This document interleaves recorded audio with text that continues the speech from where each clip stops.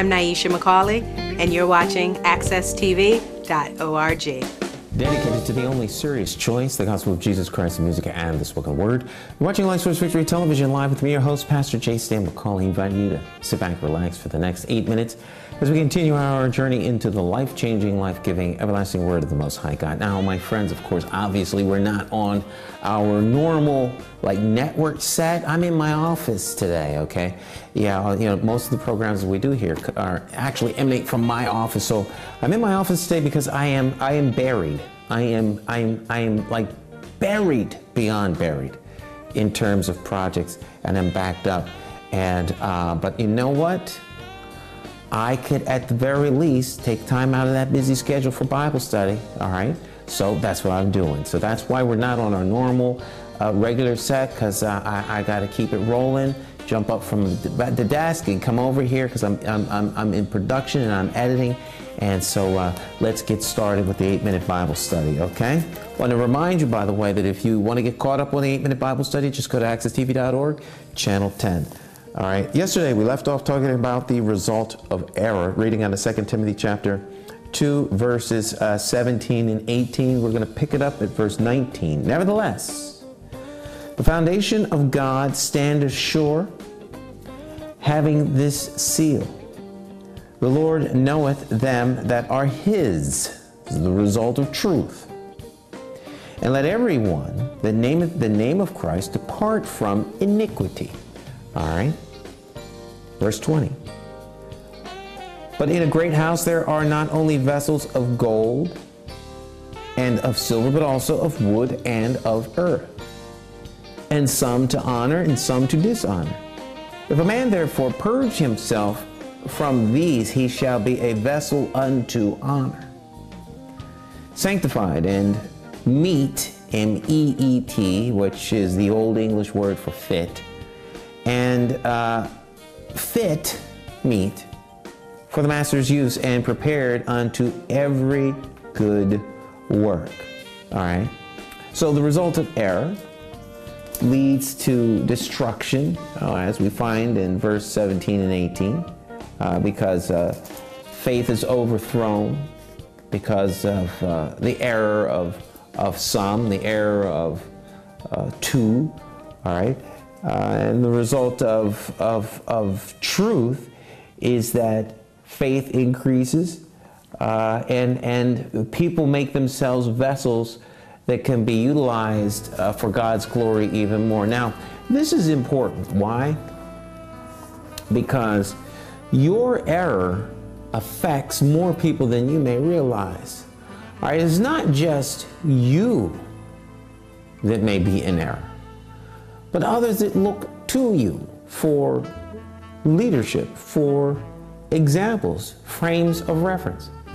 You know, a lot of times the church makes the mistake of thinking that it needs to acquiesce to the world's view of life in order to win the world. Quite the contrary. The world is looking to you as the reference, as the litmus, so that they can see just how far they need to adjust to get to the truth. So if you compromise the truth of the gospel in an effort to reach those that are lost, well, guess what? They'll just stay lost because you'll be lost with them.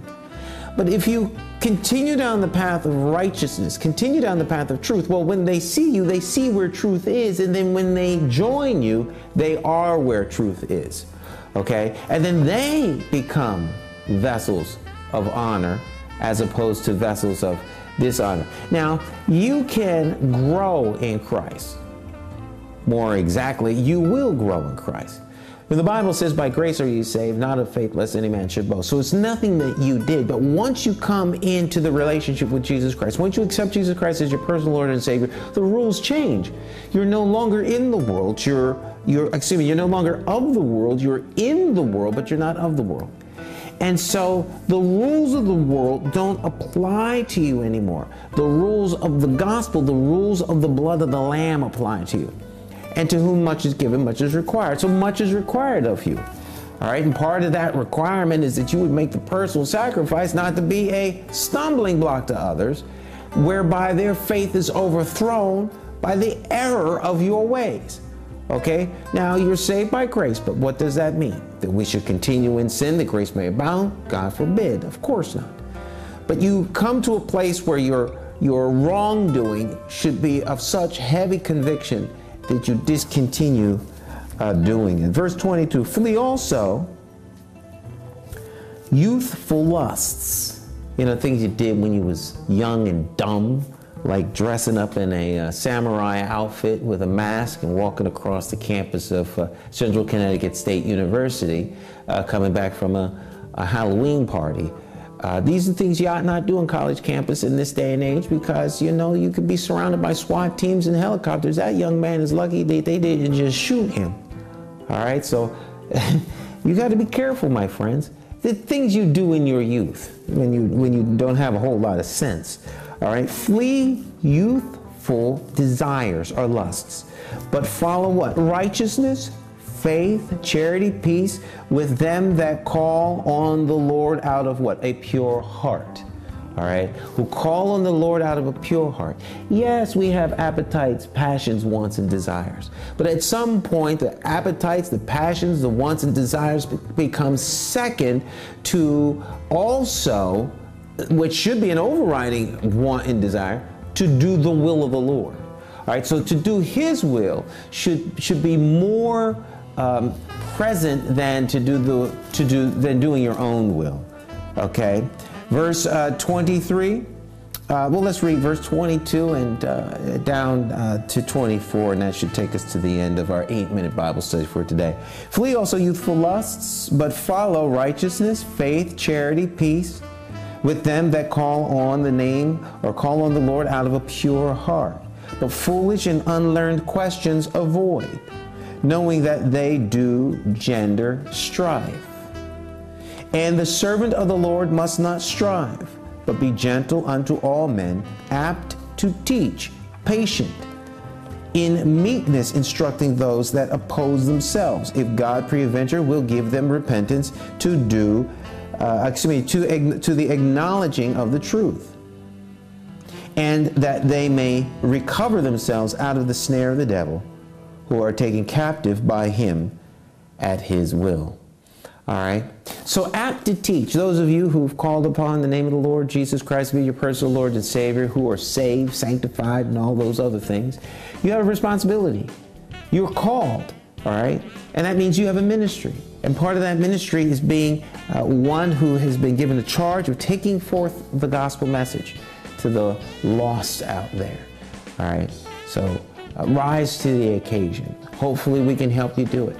All right. If you've been touched and if you've been blessed by the ministry here today, share with family and friends and tune in each and every day as we endeavor to be here. We'll be back here tomorrow. Doesn't matter how busy we are, we'll make time out of our day, whether we're here or on our normal uh, set uh, in, uh, in, in our main studio. God bless you all. Keep you strong in the faith. See you real soon.